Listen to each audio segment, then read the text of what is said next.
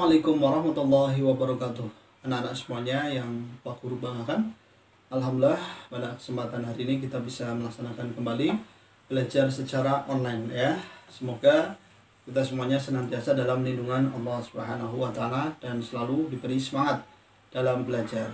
Oke?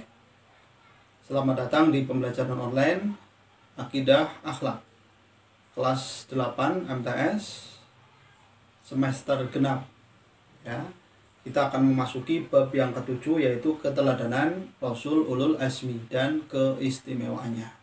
Sudah siap belajar anak-anak? Oke, baik kalau sudah siap, kita langsung saja masuk ke pembahasan. Perhatikan ya, ini adalah peta konsep yang akan kita pelajari pada hari ini. Yang pertama, pengertian Rasul Ulul Azmi. Yang kedua, sifat dan keutamaan keteguhan Rasul Ulul Asmi kemudian contoh perilaku Rasul Ulul Asmi dan nanti kita akan bahas juga hikmah dari kisah keteladanan Rasul Ulul Asmi namun pada kesempatan hari ini ya kita tidak membahas secara keseluruhan ya, materi ini mengingat sangat panjang materinya ya. Jadi nanti kita akan bagi menjadi beberapa pertemuan. Oke? Okay? baik anak-anak Kalian cermati dan perhatikan penjelasan Pak Karim berikut ini.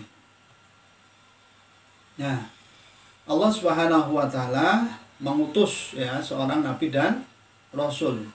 Nabi itu adalah orang yang diberi wahyu oleh Allah Subhanahu wa taala tapi tidak wajib disampaikan kepada umatnya. Tapi kalau rasul ini menerima wahyu dan wajib menyampaikan kepada umatnya. Dan di antara para rasul ini ada yang terpilih menjadi ulul azmi, yaitu rasul yang mempunyai keteguhan luar biasa dalam mendakwahkan syariat Allah Subhanahu wa taala. Kalian amati ini salah satunya adalah Nabi Ibrahim alaihissalam. Pada gambar ini ada makom Nabi Ibrahim alaihissalam. Ini adalah termasuk salah satu dari Rasul Ulul Azmi. Kalian juga perhatikan silahkan gambar ini ada Jabal Rahmah dan juga Nabi makam Nabi Muhammad Shallallahu Alaihi Wasallam. Ya kita tahu bersama bahwa Nabi Muhammad Shallallahu Alaihi Wasallam juga termasuk ke dalam Rasul Ulul Asmi. Nah, perhatikan setelah kalian tadi mendengarkan penjelasan singkat Pak Guru dan juga mengamati gambar, mungkin kalian bertanya-tanya ya, mengapa Allah mengutus Nabi dan Rasul dan siapa saja yang mungkin termasuk ke dalam kelompok ulul azmi. Ini adalah pertanyaan-pertanyaan yang tentu akan muncul pada benak kalian dan mungkin masih banyak lagi pertanyaan yang lainnya. Boleh silahkan kalian ajukan pertanyaan pertanyaan ya sebagai stimulus. Nah, kita akan bahas mulai dari pengertian Rasul Ulul Azmi. Kalian perhatikan dari 25 ya rasul ada lima yang terpilih menjadi ulul azmi. Apa itu ulul azmi? Ulul azmi berasal dari bahasa Arab. Ulul yang artinya memiliki dan azmi yang artinya cita-cita. Jadi Rasul Ulul Azmi ini adalah Rasul yang mempunyai kemantapan, cita-cita yang kuat, tekad yang sangat kuat dan mempunyai kesabaran yang luar biasa dalam ensiklopedia dalam ensiklopedia ya, ensiklopedia Islam menyebutkan bahwa ulul azmi artinya orang-orang yang mempunyai kemauan kuat dan keteguhan.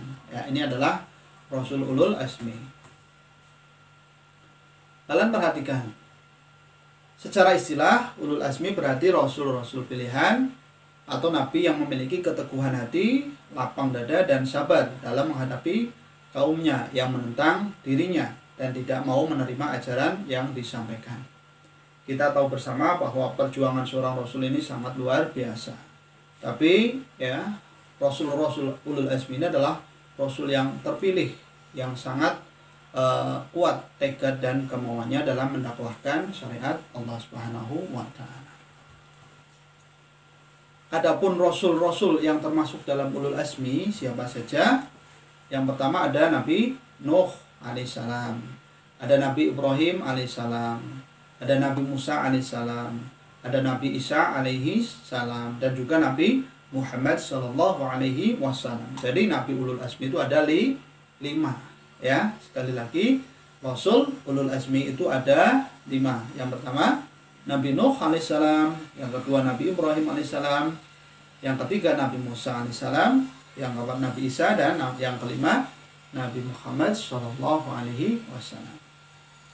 Bisa dipahami ya anak-anak ya? Oke.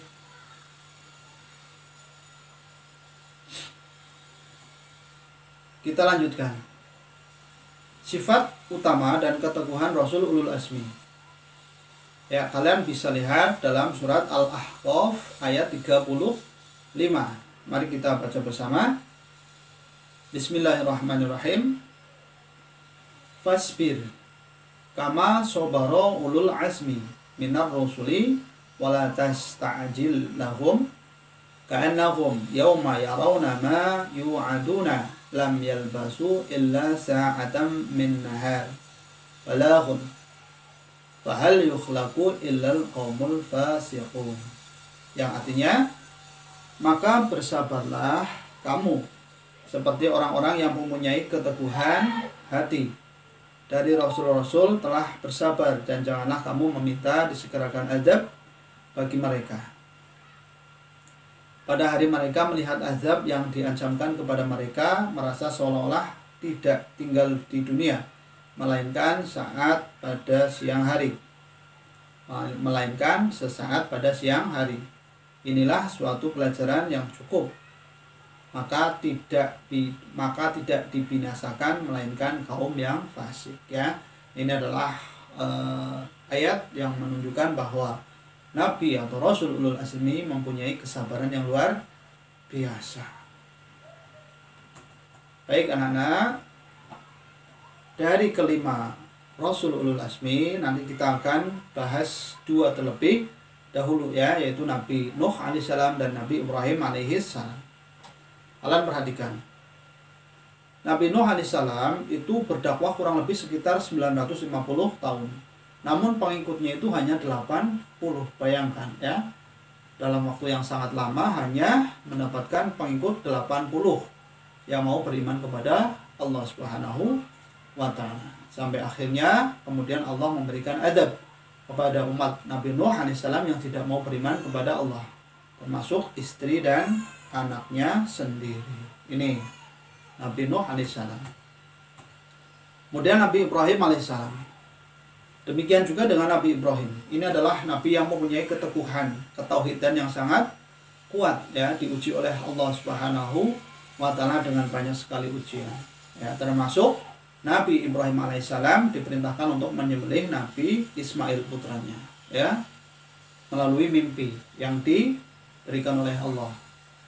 Nah, apakah kemudian Nabi Ibrahim menolaknya? Tidak dengan keteguhan, dengan kesabaran, dengan ketawakalannya kepada Allah, maka Nabi Ibrahim menjalankan perintah Allah untuk menyembelih Nabi Ismail sampai akhirnya Nabi Ismail diganti dengan seekor domba oleh Allah Subhanahu wa taala. Allahu akbar. Luar biasa, ya. Ini keteguhan Nabi Ibrahim alaihissalam. Baik. Kemudian untuk Nabi Musa, Nabi Isa dan Nabi Muhammad Shallallahu alaihi wasallam akan kita bahas pada pertemuan selanjutnya.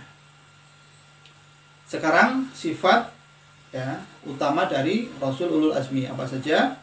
Yang pertama sabar, ikhlas, ikhtiar, tawakal, teguh pendirian. Ini adalah sifat utama Rasul Ulul Azmi yaitu sabar, ikhlas, ikhtiar, tawakal dan teguh pendirian. Oke, bisa dipahami ya sampai di sini anak-anak ya. Baik.